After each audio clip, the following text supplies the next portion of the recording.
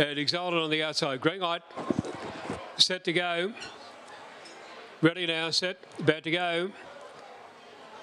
Racing side of move out there would have been Elite Machine and going fast there. Springo at the centre. It's Spring Ammo leading Exalted around the outside. Who's moving up and they were followed then by Rita Bar back on the rails. Four or five lengths away. Then came Elite Machine railing through on the inside of Kanji Exile followed by Yadita Bar. And the trailers there, Rebel May Road and Stella Girl coming off the bake straight now. And a bit of a collision up front there. Exalted got through on the inside. Coming out of there, Elite Machines come from well back and chimes in. Elite Machine went up on the outside there of Exalted in the straight now. And Elite Machine's going to beat Exalted. Six lengths away, third to be Kanji Exile, followed then by Yadita Bar. Uh, next then came Stella Girl, followed by Spring Ammo. Last couple there, Rebel May Road, Rita Bar on the time is round 30.08.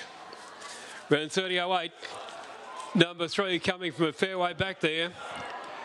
Elite Machine at about 290 and 230 if that holds up. 507, 1778. The time there 30.061. Number three Elite Machine, Kelly Bravo. Eight second Exalted. Natalie Pichetto. Seven has run third. Kanji Exile. Tom Daly. 387 fourth in five. Yadita Bale. 3875. 3875. One and a quarter lengths by five and a quarter. One and a quarter by five and a quarter. 30.061. 507 1778. 507 1778.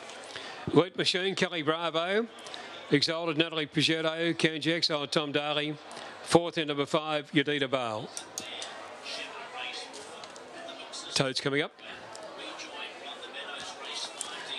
Three elite machine for Kelly Bravo, 321.20, 8 exalted, 160. 7 kg exiled, paid a dividend of uh, 7 kg XL 190, fourth and five. Quinella paid 480, exact to 1090. Tribe 2920, the 49110. Running double six and three.